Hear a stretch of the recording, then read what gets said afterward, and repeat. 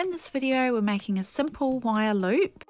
This one has the wire wrapped around a bunch of times to look like a bead in the centre. For this design we use about 10 inches of 20 gauge dead soft silver wire. Now we start by measuring in about 1 inch from the right hand side, grabbing it on that 1 inch mark with my pliers and then pushing back to make a 45 degree bend in the wire.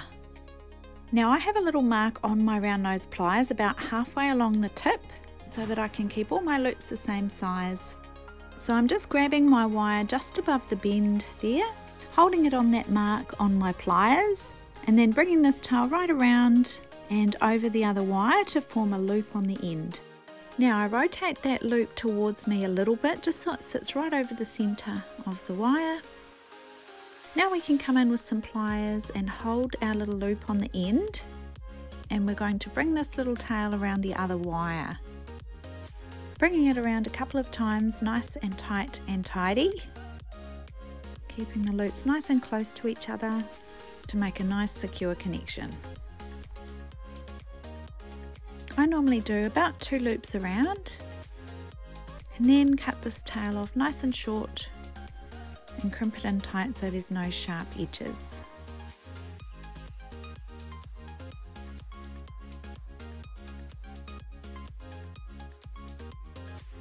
Now instead of using a bead on this one we're going to just wrap our wire around sort of in a bead shape to look like a spiral of wire. So we need to measure out a little space in the middle here where the bead would be you don't want it too big, so I usually measure out about five millimeters from those wires you wrapped around.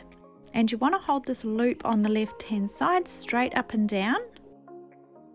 And then grabbing it on that five millimeter mark with your pliers there, then we can push that wire back and form another 45 degree bend in our wire. Now with our round nose pliers we can grab it just above the bend there, holding it onto that mark halfway along our pliers. And then bringing this tail right around round nose pliers and across the other wire. Rotating that loop towards me just a little bit and then bringing this tail around that wire in between the two loops. Now you should have two loops that look quite even, one on each end.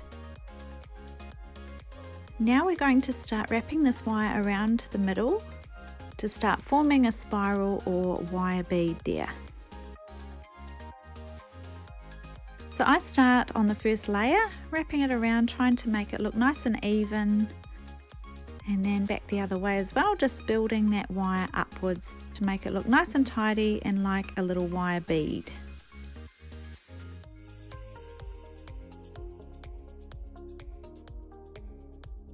It's up to you how big or flat or round or tight you want that little spiral wire to be.